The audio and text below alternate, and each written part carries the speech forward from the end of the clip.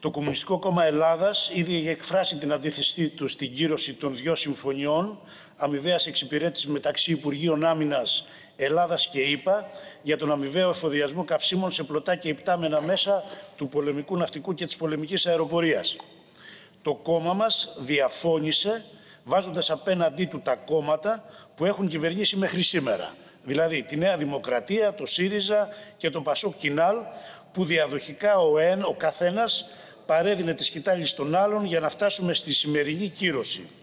Από το 1996 επικυβερνήσεως Πασόκ που μπήκαν στις αρχικές συμφωνίες οι πρώτες υπογραφές με την επέκτασή τους το 2000 πάλι επί Πασόκ και την τροποποίησή τους το 2005 επί Νέας Δημοκρατίας φτάσαμε στην ολοκλήρωσή τους επί ΣΥΡΙΖΑ το 2017 και πανηγυρικά μας τις έφερε η Νέα Δημοκρατία σήμερα για κύρωση. Μπορεί βέβαια αυτές οι συμφωνίες κατά κάποιο τρόπο να θεωρούνται εφαρμοστικές της ευρύτερης στρατηγικής συμφωνίας Ελλάδα-ΗΠΑ. Δείχνουν όμως καθαρά την ανατριχιαστική σύμπνοια της πολιτικής των αστικών κομμάτων όταν πρόκειται να συνδράμουν τους ευρωατλαντικούς σχεδιασμούς. Και αυτή η σύμπνοια είναι μέρος του πυρήνα της πολιτικής σας. Και δεν θα μπορούσε να είναι αλλιώς. Γιατί αυτή η ένθερμη συμμετοχή στις imperialιστικές απαιτήσεις είναι κομβική θέση της αστικής τάξης της χώρας. Στις τοποθετήσεις που προηγήθηκαν στην αντίστοιχη επιτροπή στη συζήτηση των δυο συμφωνιών αναφέρθηκε κατ' επανάληψη η ανάγκη αναβάθμισης των σχέσεων Ελλάδα-ΣΥΠΑ. Γνωρίζετε όμως πολύ καλά, έχοντας συνάμα πολλούς λόγους να το συσκοτίζετε, ότι η αναβάθμιση αυτή στην πραγματικότητα προσδιορίζει τον τεράστιο βαθμό της εμπλοκής της χώρας στα επικίνδυνα αμερικανονοταϊκά σχέδια, στους σκληρούς ανταγωνισμούς τους με τη Ρωσία και την Κίνα. Είναι αυτή ακριβώς η αναβάθμιση μέσω της οποίας η αστική τάξη της χώρας ευελπιστεί να πολλαπλασιάσει τα κέρδη και τα πεδία επενδύσεών της, παραβλέποντας σκιά ότι συμμετέχει στην μετατροπή της ευρύτερης περιοχής σε μπαρουταποθήκη.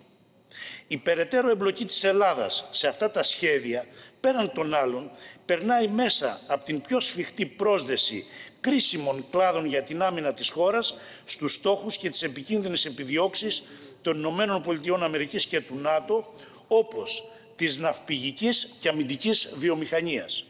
Περνάει επίσης μέσα από τον ρόλο που αναλαμβάνει η χώρα μας στο σχεδιασμό για την ενεργειακή απεξάρτηση της Ευρώπης από το ρωσικό φυσικό αέριο και το μπλοκάρισμα της κινέζικης διείσδυσης μέσω των δικτύων 5G και όλα αυτά προς όφελος των συμφερόντων των ΗΠΑ. Εκείνο όμως που ενέχει τη μεγαλύτερη επικινδυνότητα είναι η επιχειρησιακή πρόσδεση των ενόπλων δυνάμεων της χώρας σε αυτούς τους σχεδιασμούς. Μια πρόσδεση που αντικατοπτρίζει ανάγλυφα στο σχεδιασμό της νέας δομής τους και στα εξοπλιστικά προγράμματα, είτε αυτά είναι σε φάση υλοποίησης, είτε απλά έχουν αναγγελθεί. Το σίγουρο είναι ότι οι ελληνικές ένοπλες δυνάμεις εμπλέκονται στην υλοποίηση της νατοικής απέτησης για την ενίσχυση της νοτιοανατολικής πτέρυγάς του. Μόνο που αυτή την ενίσχυση και η ευθύνη γι' αυτό βαρύνει όλες τις μέχρι σήμερα κυβερνήσεις, την πληρώνουν με τον υδρότα τους οι Έλληνες εργαζόμενοι. Και σαν να μην έφερναν όλα αυτά. Προχθές, μέσω των δηλώσεων Πομπέο, αναγγέλθηκε για μια, μια ακόμη επέκταση της βάσης της Σούδας. Είναι μια επέκταση όχι απλά χωροταξική, αλλά ενισχυτική του επιθετικού ρόλου της. Και αυτό ακριβώς το στοιχείο το τεκμηριώνει και ο αναγγελθής μόνιμος ελιμενισμός του αμερικανικού ελικοπτεροφόρου Χάρσελ Woody Williams.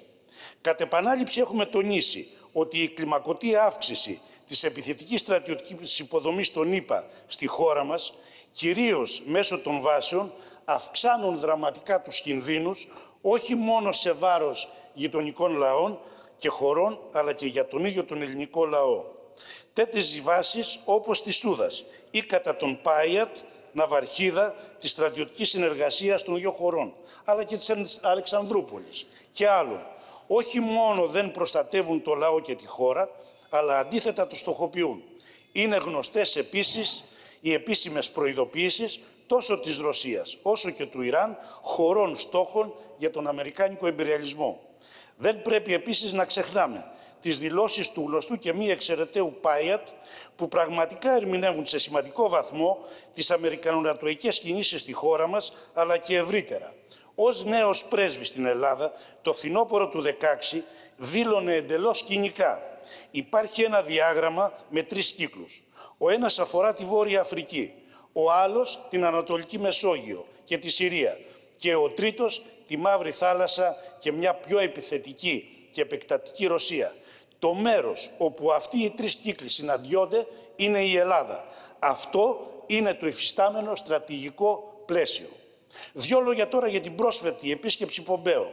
Υπήρξαν πολλοί που με υπερφύαλους και αστείους χαρακτηρισμούς προσπάθησαν να δημιουργήσουν κλίμα προσμονής για δήθεν ηχηρό μήνυμα στήριξης της Ελλάδα από τη ΣΥΠΑ.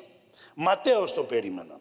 Ο Πομπέο με απόλυτη συνέπεια στην μέχρι σήμερα αμερικανική πολιτική δεν άρθρωσε λέξη για την κλιμακούμενη τουρκική επιθετικότητα σε βάρος των κυριαρχικών δικαιωμάτων της Ελλάδας και της Κύπρου.